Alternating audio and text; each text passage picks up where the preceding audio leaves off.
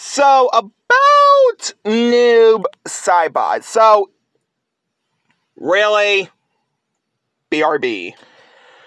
So, yeah, um, let's talk about Noob Saibot's gameplay trailer. Um,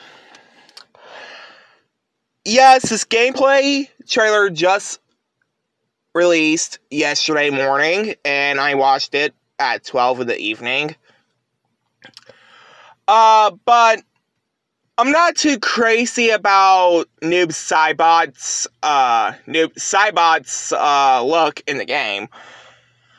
Uh, is that because of the green? No, which I still don't get why he's green, to be honest. It's just the, the helmet. Like, it looks like he took it from someone else from Harry Potter.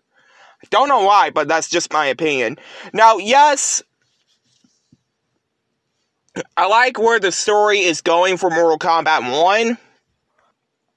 So yeah, I like where they're doing the sto- like where not uh, I I'm sorry, I can't speak. I like where it is going with the story repeating itself over, like doing history all over again. Like Bi-Han being Noob Saibot, who was the original Sub-Zero. Um having Dark Raiden back, you know, the evil version of Raiden, who we haven't seen in Mortal Kombat 11. Um, an evil Johnny Cage. We already saw an evil version of Kenshi at the end credits of Mortal Kombat 1, original story mode. But Khaos Reigns is part of the DLC.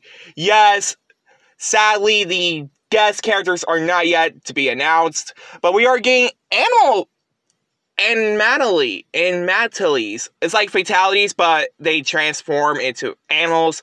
Noob Saibot transform into a crocodile or alligator.